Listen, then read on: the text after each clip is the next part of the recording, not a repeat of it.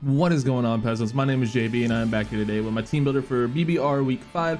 This week we are taking our boy Mid Pokemaster, who is the commissioner of the league and is currently rocking the record of 3 and 1 with a zero differential. Uh, he has an absolutely just terrifying team, and if I'm being real with you guys, just before we even get into this, I want to be straight up up front with you. This is the worst matchup I think I've ever had in Gen 8. Like, this team is just impossible for my team to deal with if I'm being perfectly honest with myself. Just the combination of his offense and his fat, it just, bro, it's ridiculous. So, uh, obviously you can see he has Excadrill, Necrozma, Scolipede, Gigalith, Vaporeon, um, Hitmonchan, uh, Miltank is the name of that Pokemon, Whimsicott, Morpeko, and Noctowl. Bro, this team is ridiculous. Um, Excadrill, in sand outspeeds my entire team and there's nothing I can do about it aside from running Scarf Zeraora which has a shitty matchup against stuff like Scolipede. Can get in and get a speed boost and just run through me. Uh, has a shitty matchup against stuff like Gigalith, obviously being able to uh, just chew hits. Whimsicott has a bad matchup against that. Um, it only really has a good matchup against Vaporeon, even then. It's like it's just because it's a Vaporeon, not because, you know, Scarf is good against Vaporeon. Um, Necrozma is absolutely terrifying. You guys know I have a habit of losing to setup psychic types, and Necrozma is arguably the best setup psychic. Um, with Prism Armor, uh, weakness policy sets just being ridiculous, and you know, obviously having access to stuff like Iron Defense as well. Like, bro, it's just so hard to deal with.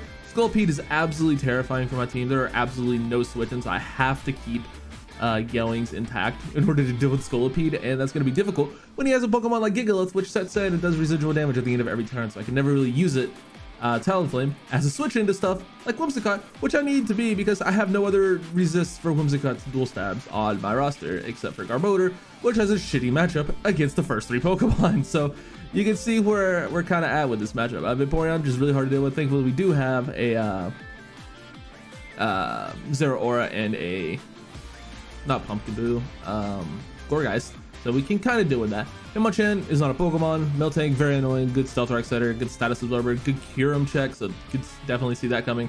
Um, Morpeko, fast. Hazard removal. Parting shots, very annoying. Noctowl, also not a Pokemon. So he has two Pokemon on his team that just don't really exist, but everything else just wins. So th this matchup is so difficult. So damn difficult.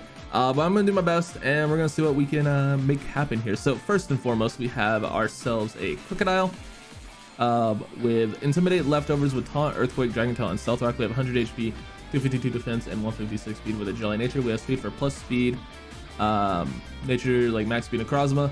Uh, taunt Dragon Tail uh, to prevent Necrozma from setting up. Like if we get set up, we can we can click Dragon Tail. If uh, we're in just versus it, we can taunt it so it can't do anything. So basically, this is my uh, Necrozma check, and then we also have Earthquake for, you know, just damage versus most things. Uh, I don't think Noctowl comes to this game, and it's, you know, decent against, like, Whimsicott. Like, it'll do something. Uh, then Rocks are Rocks. Pretty self-explanatory. Hopefully, we can uh, just use this Pokemon to not lose to Necrozma. Next up, we have ourselves our Gourgeist. Uh, we have speed for neutral nature Necrozma. We are uh, Gourgeist small, so the fastest one. Uh, Vaporeon Scald never breaks our sub, and Power Whip to it kills both Vaporeon. We have Frisk with leftovers, sub, Leech Seed, uh, Poltergeist and Power Whip, 36 HP, 52 attack, 252 defense with a uh, with an impish nature, 108 speed F and 100 speed. So five EVs. Um, yeah, dude, five EV, five EV set. You gotta, you gotta love to see that. Gonna get a little bit funky with the EV spreads. You know, we gotta have to. But uh, yeah, it's good versus Vaporeon. Spreading Leech Seed is very annoying. Obviously, it is a decent check to um, Excadrill, which forces him to run Shadow Claw, which means he will probably either be like four attacks or I mean, he'll have to he'll either he'll either have to go forego spin or um, uh, SD. He can't really carry both and be able to hit Gorgas well because Ironhead uh, doesn't do that much unless he's like plus two Life Orb which let's be real, he can pretty easily get versus me, so we have to be a little bit careful there. Otherwise, uh, if we're outside of sand, we actually uh, can kind of bob drill, but we don't outspeed it, but it's whatever. Uh, we'll be fine. Next up, we have ourselves Primarina with speed for uh, Vaporeon creeps. We live one life orb poison jab from Scolipede. We have uh, the wrong ability. We have Torrent, obviously, with a uh, sub Scald, Moonblast, and uh, Calm Mind. So nice little sub Calm Mind Primarina. Hopefully, we can put in a little bit of work. Um, we have 140 HP, 252 defense with a bold nature, 52 uh, special attack, 4 speed F, and 60 speed. Basically, uh, if he doesn't have Roar and Vaporeon, we can kind of go in and just do a lot of damage. I don't really think you bring uh, Roar Vaporeon versus my team because you kind of need Scald. Obviously, you need Scald. You need uh, Wish, protect, and then either roar or ice beam. And I personally think ice beam is much much better versus my team. Just so otherwise you're not hard walled by Gourgeist, which I guess if you have roar, you can just roar it out. But I mean that way you're you know still you know taking chip damage and stuff like that. Uh, anyway, next up we have ourselves uh, Espeon with Magic Bounce, Light Clay, with uh, Light Screen, Reflect, Baton, Pass, and Psyshock. Uh, speed for Miltank at 180 speed timid, 84 speed up, and the rest is just an HP. Um, yeah, speed for Miltank. We're here for dual screens. We have Baton Pass for momentum, and then Psyshock because it's our you know best move to hit everything except for Morpeko, obviously. Um, dude, I just need bulk, so I decided to run dual screens. There's just no other real reason behind that other than my team is just gonna get OHKO'd by everything, so dual screens because why not? Basically. Uh, Next up is Zeraora. We have uh, Volt Absorb with Air Balloon, Plasma Fist, Close Combat, Blaze Kick, and Volt Switch to uh, 76 HP, max attack with an Adamant Nature.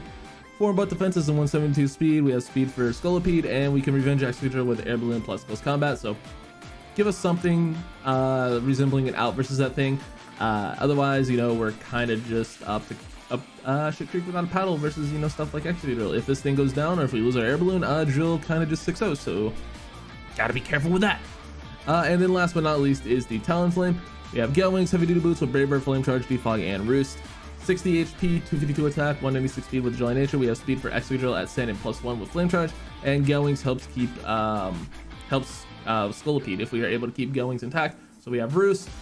I don't see us being able to do that because uh, Gigalith exists, and basically every time I go Talonflame, he gets free. Um, he gets a free Gigalith uh, and like every time he brings Whimsicott in on something, I pretty much have to go Talonflame. It's like, and then he just, it's, it, we get caught in the vortex very easily this game. And uh, yeah, dude, I know I'm sounding like uh, a real piece of crap and not like being very confident in this matchup, but I'm just, I'm really not confident in this matchup at all.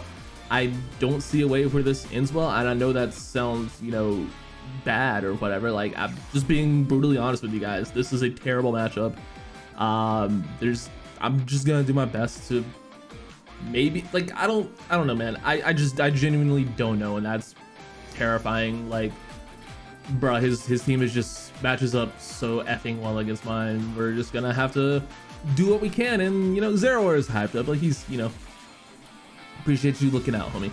But uh, that's really gonna do it for me, guys. Like I said, I know I'm I'm sorry that this is you know the way it is, but yeah, sometimes you just have matchups like this, and that's really all I have to say about it. So, uh, thank you guys for watching. I'll see y'all for the battle tomorrow. If you, for some reason, decided to watch it. anyway, guys, thanks for watching. Peace out.